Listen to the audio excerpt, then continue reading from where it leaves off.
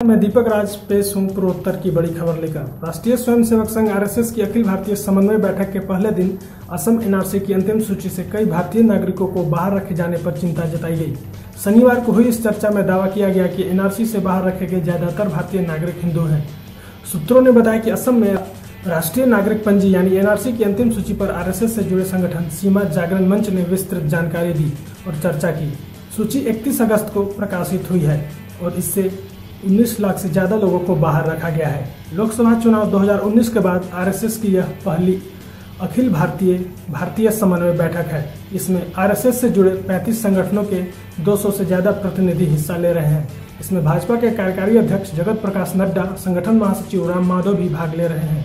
सूत्रों ने बताया है कि एनआरसी पर चर्चा के दौरान चिंता जताई गई कि कई भारतीय नागरिकों को भी सूची से बाहर रखा गया है। खास तौर पर उन्हें जो पड़ोसी राज्यों से आकर वहाँ बस गए हैं। उन्होंने कहा कि नेताओं ने यह भी चिंता जताई कि एनआरसी से बाहर रखे गए 19 लाख लोगों में से ज़्यादातर हिंदू हैं। भाजपा ने एनआरसी की अंतिम सूची की आलोचना करते हुए कहा कि यदि नागरिकों के हितों की रक्षा के लिए कानून बनाएगी, बैठक में जम्मू कश्मीर को विशेष दर्जा समाप्त किए जाने और उसके बाद घाटी में हालात पर भी एक प्रेजेंटेशन दिया गया। सूत्रों ने बताया कि अनुच्छेद 370 के ज़्यादातर प्रावधानों को समाप्त करने के नरेंद्र मोदी सरकार के फैसले का बैठक में संघ ने सदस्यों ने दिल खोलकर जोरदार तालियों के साथ स्वागत किया। उन्होंने इस फैसले को संगठन की विचारधारा के अनुरूप बताया। विदेशी पंचायत अपीलों के खिलाफ प्रतिकूल फैसला देता है तो पार्टी भारतीय नागरिकों के हितों की रक्षा के लिए कानून बनाएगी।